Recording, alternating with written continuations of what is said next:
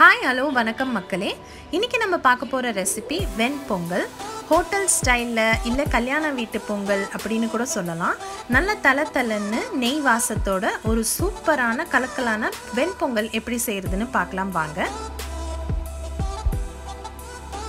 தேவையான பொருட்கள் நான் ஒரு கப் பச்சரிசி எடுத்து வச்சுருக்கேன். ஒரு கப் பாசிப்பருப்பு. இது ரெண்டுத்தையும் நல்லா தண்ணி விட்டு அலசி பத்து நிமிஷம் ஊற வச்சு வடிகட்டி எடுத்து வச்சுக்கோங்க. இப்போது ஒரு ப்ரெஷர் குக்கரில் ஒரு டேபிள் ஸ்பூன் நெய் சேர்த்துட்டு ஒரு துண்டு இஞ்சியை பொடியாக நறுக்குனதை சேர்த்துக்கிறேன். ஒரு நிமிஷம் இதை நல்லா வதக்கி விட்டுக்கலாம். அதுக்கப்புறம் நம்ம வாஷ் பண்ணி வச்ச அரிசியும் பாசிப்பருப்பையும் நம்ம சேர்த்துக்கலாம். தண்ணி இல்லாமல் பார்த்துக்கோங்க நல்லா ட்ரையாக இருக்கணும். ஏன்னா நம்ம இது ரெண்டுத்தையும் நல்லா அந்த நெய்யில் ஃப்ரை பண்ணி எடுத்துக்க போகிறோம் இப்போது நான் ஆறு கப் தண்ணி சேர்த்துக்கிறேன்.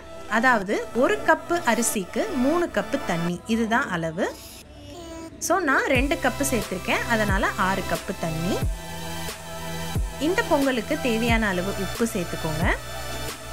சேர்த்துட்டு அதை நல்லா கலந்து விட்டுட்டு நம்ம ப்ரெஷர் குக்கரை மூடி போட்டு நாலு விசில் போட்டு எடுத்துக்கலாம். இப்படி பண்ணுறதுனால நம்ம பொங்கல் நல்லா மணமாக இருக்கும். இப்போ பாருங்கள் நம்ம சேர்த்த அரிசி பருப்பு ரெண்டுமே நல்லா வெந்துருச்சு.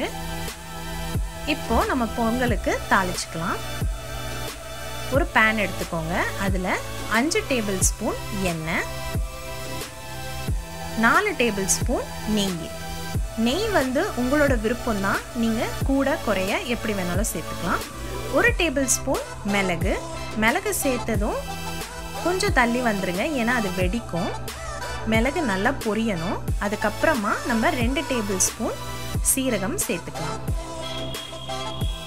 இதெல்லாமே சிம்மில் வச்சு பண்ணிக்கோங்க. கருவேப்பிலை சேர்த்துட்டு இப்போ ஒரு டீஸ்பூன் பெருங்காயமும் சேர்த்துக்கலாம்.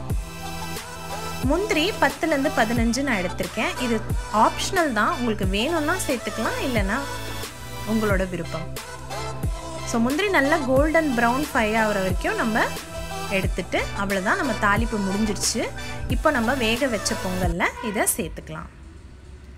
இப்போது தாளிப்பை சேர்த்துட்டு நீங்கள் கேஸை சிம்மில் வச்சுக்கோங்க.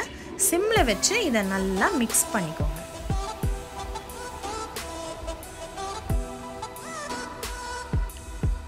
இப்போது நான் இன்னும் கொஞ்சம் நெய் சேர்த்துக்கிறேன்.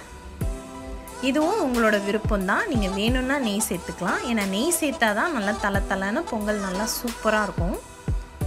ஸோ நம்ம கல்யாண வீட்டில் சாப்பிட்றோம் இல்லை ஹோட்டலில் போய் சாப்பிட்றோன்னா நம்ம எப்படி நம்ம பொங்கலை எதிர்பார்க்குறோமோ அதே மாதிரி பொங்கல் நம்ம வீட்லேயே செய்யலாம்.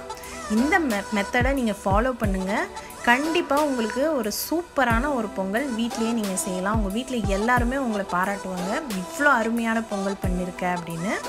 பாருங்கள் என் கரண்டியிலேருந்து ஒட்டவே இல்லை பொங்கல். அழகாக ஒரு ஸ்கூப் ஸ்கூப்பாக அது அழகாக விழுது. ஸோ இதுதான் ஹோட்டல் பொங்கலுக்கான ஒரு பதம். இந்த பொங்கலுக்கு நான் தேங்காய் சட்னி மதுரை ஸ்டைலில் செஞ்சு சர்வ் பண்ணேன். ரொம்பவே சூப்பராக இருந்தது. ஸோ நீங்கள் உங்கள் வீட்டில் இதை ட்ரை பண்ணி பாருங்கள் ட்ரை பண்ணி பார்த்துட்டு கமெண்ட் செக்ஷனில் மறக்காமல் என்கிட்ட சொல்லுங்கள் இந்த வீடியோ உங்களுக்கு பிடிச்சிருந்ததுன்னா லைக் ஷேர் சப்ஸ்கிரைப் மறக்காமல் பெல்